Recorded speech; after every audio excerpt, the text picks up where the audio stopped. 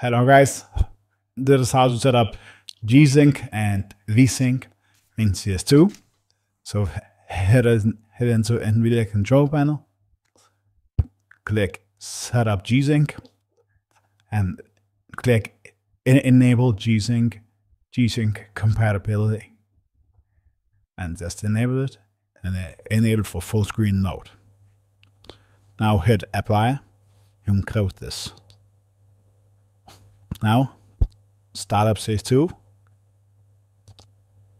Yeah, and when you're in CS2, head into settings, video, advanced video, and VSync is disabled.